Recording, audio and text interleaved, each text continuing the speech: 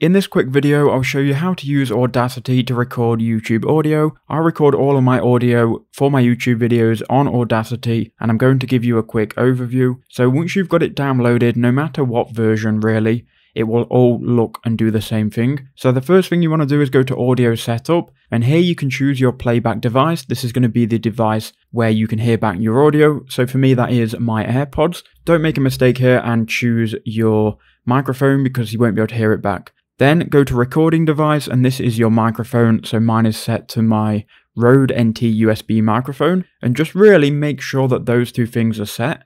Once you've done that, you can then click on the record button and it will then start to record audio.